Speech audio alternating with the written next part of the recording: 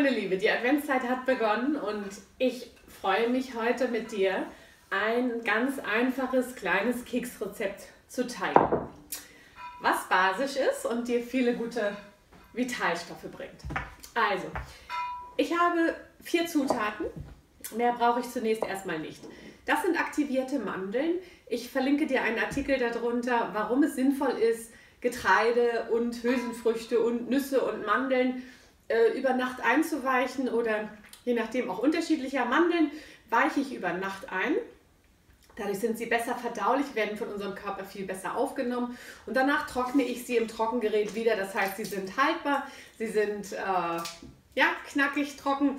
So, ich kann sie gut verwerten und habe aber trotzdem diese, diese Aktivierung vorbereitet. So, dann habe ich ähm, Buchweizen. Buchweizen ist ein guter Säurebringer. In diesem Fall habe ich den Buchweizen aber ankeimen lassen. Sprossen sind wunderbare basische Mineralien. Natürlich ist sowas frisch immer besser.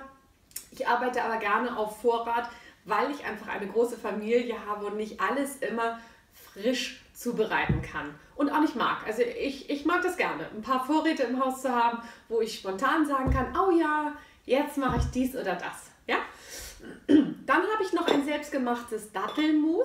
Das ist aus eingeweichten Datteln, die über Nacht im, Was im Wasser im Kühlschrank gestanden haben und dann püriert. Dieses Dattelmus hält sich ungefähr 5-6 Tage im Kühlschrank und ist eine wunderbare Alternative zu allen möglichen sauren Süßungsmitteln. Dieses ist süß und basisch. Und dann wir noch Zimt, weil es sollen Zimtkekse werden. So, als erstes nehme ich diese beiden vorbereiteten Sachen und bereite sie ein, mache sie einmal zum Mehl. Dann machen wir den nächsten Schritt. So, jetzt habe ich in meinem Hochleistungsmixer ein wunderbares Mehl hergestellt. Ähm, falls du dich wunderst, ich habe insgesamt jetzt ein bisschen mehr Dattel genommen. Das kannst äh, Mandel genommen als Buchweizen, das kannst du ausprobieren. Wenn ich zu viel Buchweizen in meine Teige hineingebe, ähm, mögen meine Kinder die Bitterstoffe nicht. Ja, das heißt, das teste einfach für dich aus, was da für dich richtig ist an Menge. Zimt nehme ich gerne viel. Ah, mir fällt noch etwas ein, um das Ganze abzurunden. Kannst du kannst du wunderbar auch noch ein Stück Vanille dazu machen. Entweder du hast eine Stange, eine Vanillenstange, dann könntest du sie gleich ein Stück davon mit den Mandeln und dem Buchweizen zusammen in der Maschine klein machen. Oder aber du hast es so in der Tüte, dann geht es wunderbar einfach ein bisschen von dieser hochwertigen, das ist wirklich reine Bourbon-Vanille, da ist nichts anderes noch drin, dort mit hineinzugeben. So, und jetzt habe ich meine Datteln.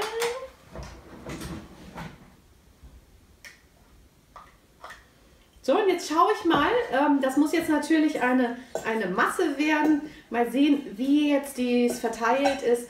Da ich sie im Trockengerät trocken möchte, kann ich auch noch mehr Feuchtigkeit erstmal dazu machen.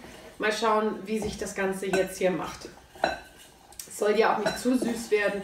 Hauptsache, dass es sich gut verarbeiten lässt erstmal. Ja, so du das so sehen kannst. Ich zeige es dir mal.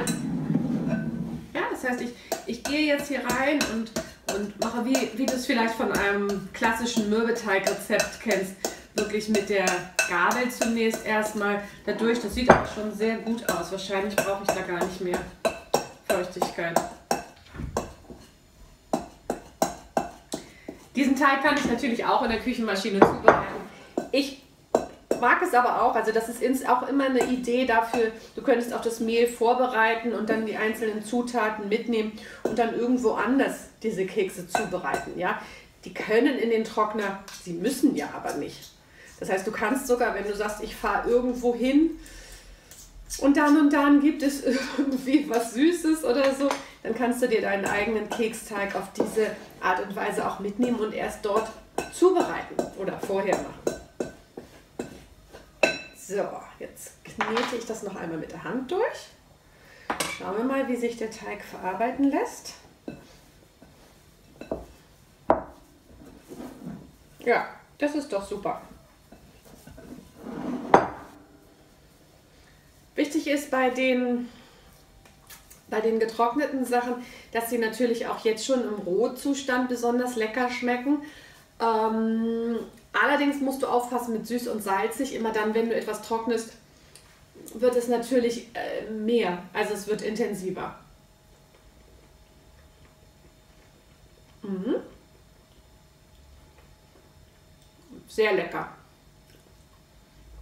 Mag ich genauso verwerten. So.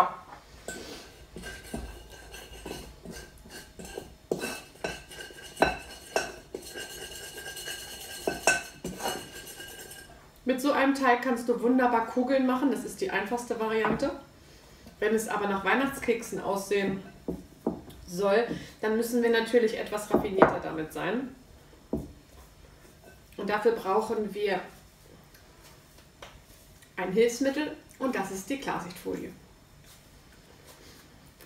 Wobei es vielleicht auch mit dem ökologischen Backpapier geht, was ich gekauft habe. Das werden wir jetzt mal testen. So, das ist unser Teig. Ich habe für diesen Fall immer noch Klarsichtfolie im Haus. Aber wir werden es jetzt mal mit diesem ökologischen Backpapier versuchen. Und eine kleine Teigrolle. So, das kann auch weg.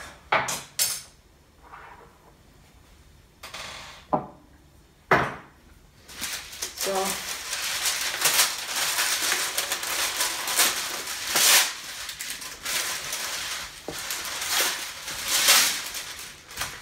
Jetzt brauchen wir zwei, einer unten, einer oben. Und dann schauen wir mal, wie sich das verarbeiten lässt.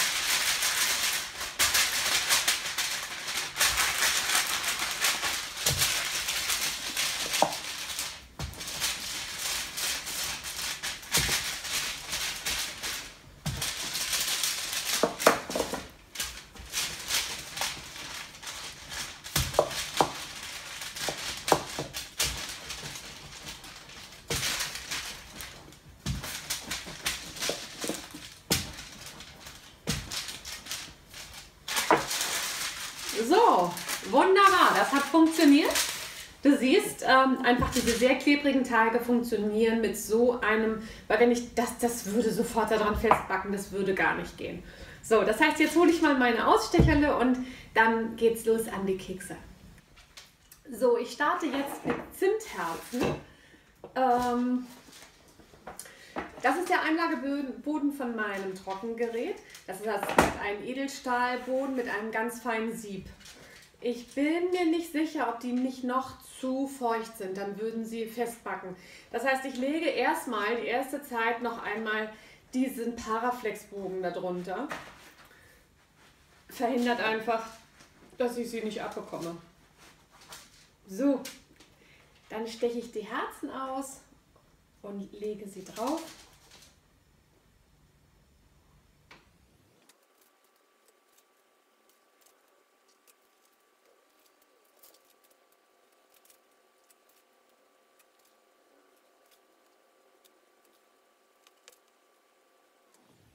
Ähm, ich möchte das Ganze noch um einen Trick ergänzen. Ich habe jetzt festgestellt, die ersten vier Kekse gingen total gut und dann fing diese Form wahnsinnig an zu kleben.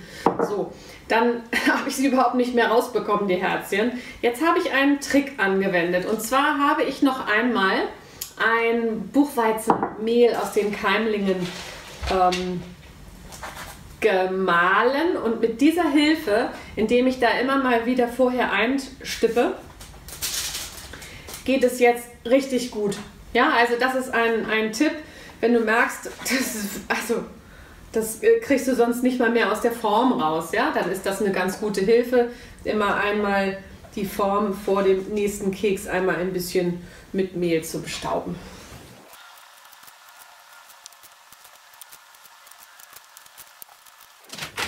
So,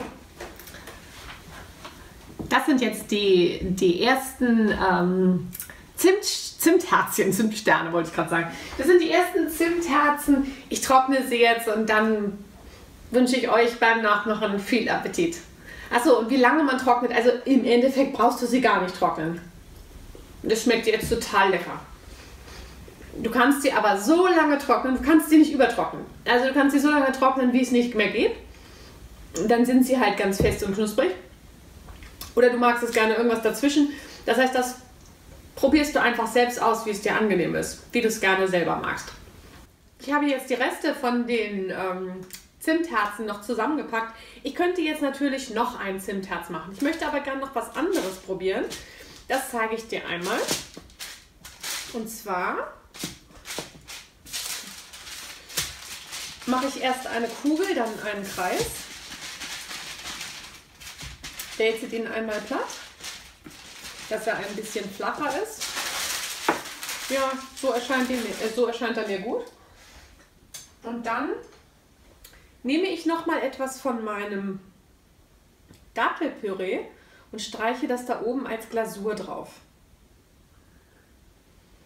Das wird dann, wenn es trocknet, richtig schön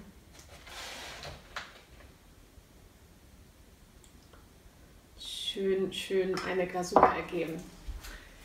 Dafür schneide ich jetzt, also ich lasse es jetzt erstmal auch wieder hier drauf, schneide erstmal drumherum, sodass ich das dann auf den nächsten Trockenboden legen kann, ohne jetzt das hier runternehmen zu müssen mit der wackeligen Glasur.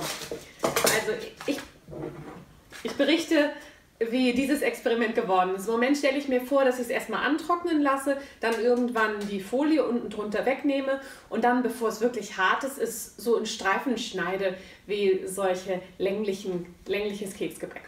Okay, bis dann. Tschüss.